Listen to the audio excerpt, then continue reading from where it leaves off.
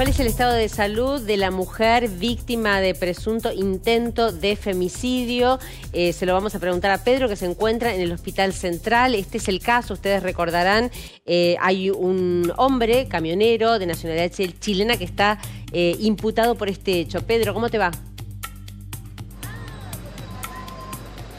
Buenas tardes, Daniela. Bien adelantás lo que ha sucedido el día sábado en la zona industrial del departamento de Godoy Cruz, más precisamente en las inmediaciones del Puerto Seco. Recapitulamos un poco para que la audiencia entienda de qué estamos hablando. El día sábado, en las primeras horas, a las 8 de la mañana, un grupo de personas encontró a una mujer en las inmediaciones de Puerto Seco, tendida en la calle semidesnuda y con heridas muy graves. A raíz de esto dieron aviso al servicio de emergencia, fue trasladada hasta el hospital central donde se le practicaron las primeras em, intervenciones salvar su vida, intervenciones que tuvieron que ver con la amputación de uno de sus miembros inferiores, es decir, de una de sus piernas. Cuando la familia de esta joven, de esta mujer de 45 años, tomó novedad de lo que sucedía con esta persona, inmediatamente dieron aviso a las autoridades diciendo que por el lugar donde se encontraba podía estar vinculado con la pareja, porque habían advertido que estaba saliendo, estaba en una relación con un camionero de nacionalidad chilena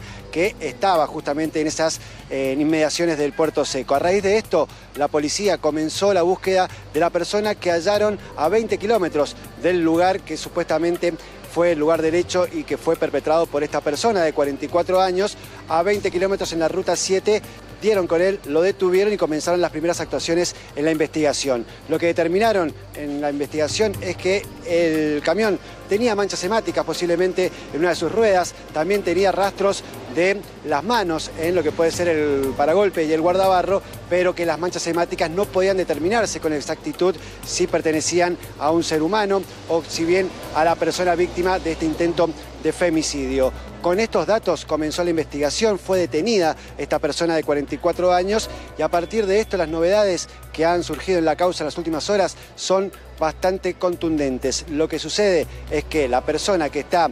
en estos momentos imputado por intento de femicidio, tentativa de femicidio, ha decidido brindar una declaración formal sobre lo que sucedió esa noche. ¿Por qué? Porque van a ver si coincide con lo que le dijo a la policía en los primeros minutos de su detención. Pidió él mismo hablar en la causa y brindar mayores explicaciones al respecto. Por otro lado, el estado de salud de esta mujer de 45 años ha mejorado en las últimas horas, una evolución favorable para esta mujer que perdió una de sus piernas, uno de sus miembros inferiores en la primera intervención que se le dio. Estuvo en terapia intensiva luego de realizarle este tipo de intervenciones y a partir de esto lo que sucedió en las últimas horas fue pasada a sala común con un estado de salud que va en mejoría y que ya se la, ha, se la ha extubado, es decir, se le ha sacado el tubo por el cual estaba ella respirando, una asistencia mecánica para poder respirar. Bueno, el estado de salud es favorable. La causa, lo que sucede ahora,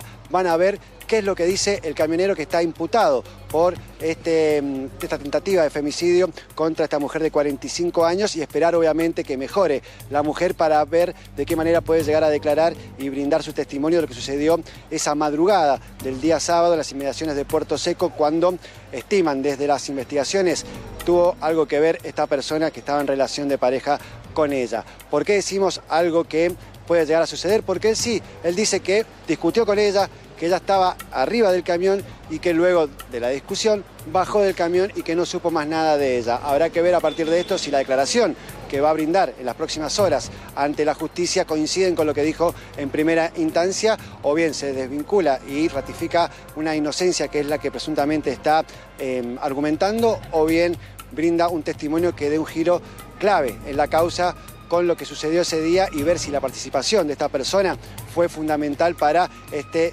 intento, esta tentativa de femicidio contra la mujer de 45 años que se encuentra en estos momentos acá en el Hospital Central luchando por su vida. Esta vez ya está en sala común con una mejoría notable en cuanto a su estado de salud y con la novedad que surgía a primeras horas de la investigación, la amputación de una de sus piernas.